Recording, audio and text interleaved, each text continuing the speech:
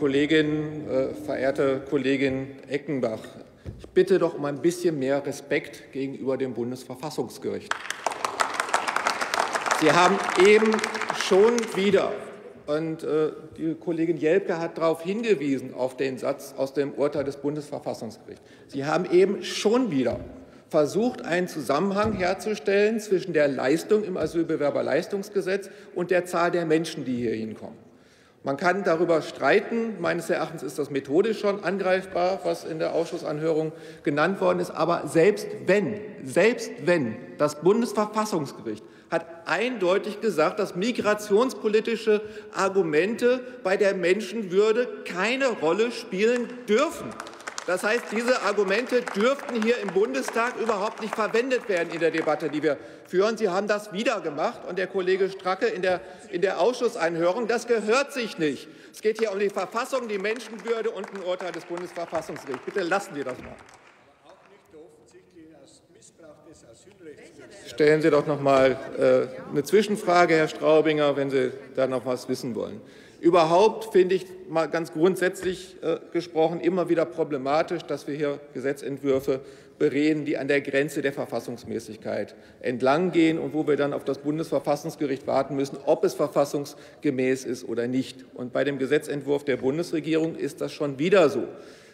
Ich bin kein Jurist. Meines Erachtens ist wahrscheinlich so gerade eben noch verfassungsgemäß. Aber wir haben in der Ausschussanhörung diverse Argumente von den Expertinnen und Experten gehört, wo es verfassungsrechtliche äh, Probleme äh, gibt. Ich habe äh, in der Ausschussanhörung, in der Ausschusssitzung dazu noch mal etwas länger Stellung genommen und die Punkte noch mal erwähnt. Die Zeit habe ich hier gar nicht, weil ich die Zeit dann um ein Vielfaches überschreiten würde. Ich fände es schön, wenn wir hier mehr Gesetze verabschieden würden, bei denen von vornherein klar ist, dass sie der Verfassung entsprechen. Ganz einfach so. Ähm, ein zweiter äh, wichtiger Punkt. Äh, wir finden es wichtig, dass es endlich eine einheitliche Grundsicherung gibt und nicht so eine Zwei-Klassen- oder Drei-Klassen-Grundsicherung, wie wir sie derzeit vorführen, äh, vorfinden. Nochmal anknüpfen an die letzte Debatte. Unionsbürgerinnen, die zu uns kommen, äh, verlieren irgendwann ihren Anspruch. Ein Teil ist ausgeschlossen. Asylbewerber kriegen eine Leistung, aber die liegt unter der Leistung, die andere Menschen in diesem Lande äh, kriegen. Das ist äh, aus unserer Sicht nicht hinnehmbar. Wir wollen da eine Vereinfachung. Das zeigt das Menschenbild der Großen Koalition. Es gibt die guten Menschen, die hier leben, hier länger leben, und es gibt die schlechten Menschen, das sind die, die zu uns kommen aus der EU oder noch von weiter weg. Wir finden, alle Menschen müssen und sollten gleich behandelt werden.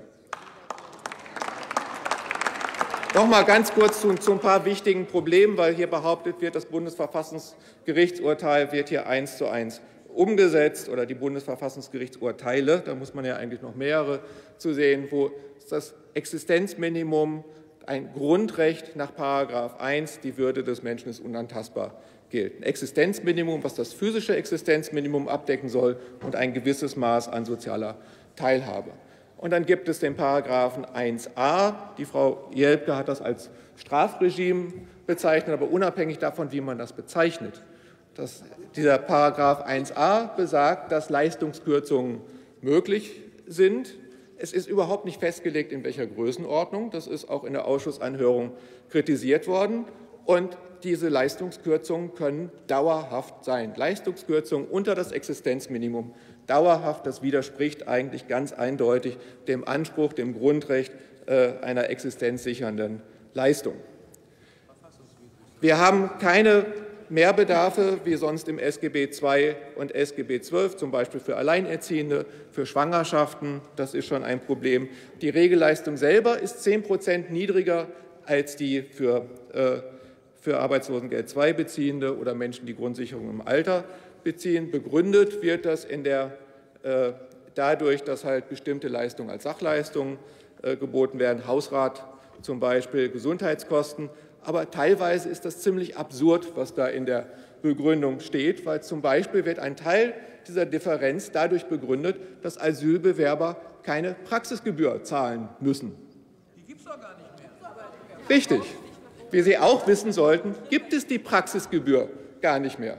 Das sind nur 2,65 Euro von dieser Differenz zwischen SGB II-Leistungen und dem Asylbewerberleistungsgesetz, wie Sie es vorgelegt haben. Aber das zeigt, wie Sie an dieses Gesetz drangegangen sind, nämlich korinthenkackerisch und halt sehr kleinlich und, und gar nicht wirklich fundiert und auch nicht wirklich transparent. Offensichtlich ist Ihnen das nicht mal aufgefallen. Die Praxisgebühr gibt es nicht mehr und es ist kein Grund, warum deswegen Asylbewerber 2,64 Euro weniger kriegen sollten als andere.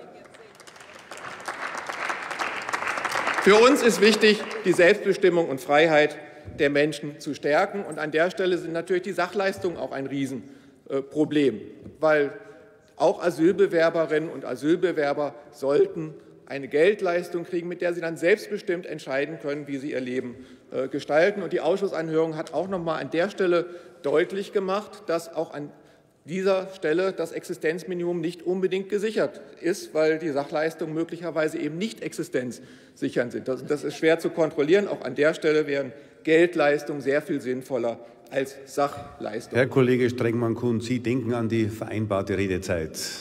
Gut, dann komme ich zum Schluss. Leider kann ich zum Gesundheitspunkt nicht mehr äh, viel sagen, aber das ist schon genannt worden als ganz zentrales Problem, wo auch das physische Existenzminimum gefährdet ist. Ich wünsche der Kollegin Kolbe viel Glück, an der Stelle noch mal Veränderungen zu erreichen. Es gibt da ja auch einen Beschluss des Bundesrates, der einen Weg äh, öffnet. Ich finde, das Gesetz, so wie es jetzt vorliegt, ist weder christlich. Sie sollten vielleicht noch mal über den Begriff christlich in, ihrer, in Ihrem Parteinamen nachdenken. Wir haben, und wir, wir haben deswegen halt einen Gesetzentwurf vorgelegt, der das Asylbewerberleistungsgesetz abschafft, eine Gleichstellung schafft. Es ist im Bundesrat auch von allen Ländern unterstützt worden. Herr Kollege, also SPD jetzt war der letzte Satz schon längere Zeit angekündigt, der muss auch jetzt erfolgen.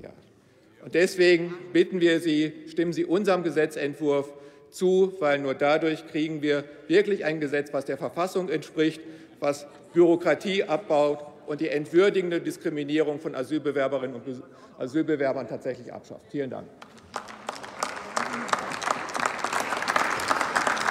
Nächste Rednerin ist die Kollegin Kerstin Griese für die Sozialdemokraten.